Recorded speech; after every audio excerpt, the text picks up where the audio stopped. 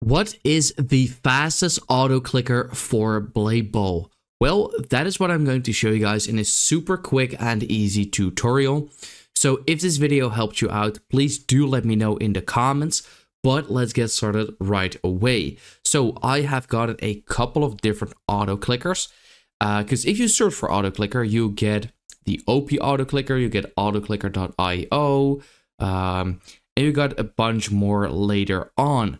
But basically, it kind of doesn't really matter which auto clicker you choose. So you can choose, uh, if I click on these, and then on this one as well, you can see that they do look a little bit different. This one looks pretty fancy, as you can see, compared to this one.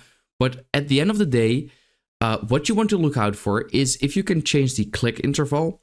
So for example, um, you can leave it at like one millisecond, so a click every single millisecond, which is extremely fast.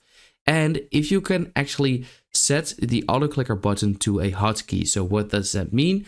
So you can set it, for example, to Q or E or R on your keyboard.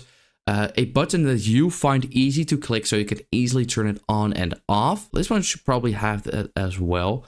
Um, but I've always used this one over here. So it's the OP auto clicker, usually the first one you get. And once you click on download, you simply want to wait. There over here, there's a countdown. So do not click on any of these weird green buttons. Those are ads and scams. But as you can see, after a couple of seconds, it will simply download it. Now you want to save this somewhere where you can easily access it and open it up. Now, as you can see over here, um, we can change the millisecond time. So if I works, let's say I would put it to one second. That means that if I turn it on, I would click, uh, I would have one click per second, which is extremely slow. So you want to put this, for example, to like one or uh, 10 milliseconds. So it's extremely fast. And then you can change the start button as well, like I said. So if you go to hotkey settings, you can click on this button and then it says please key. You can select any button on your keyboard and that will simply select the key that you would like to use the auto clicker for.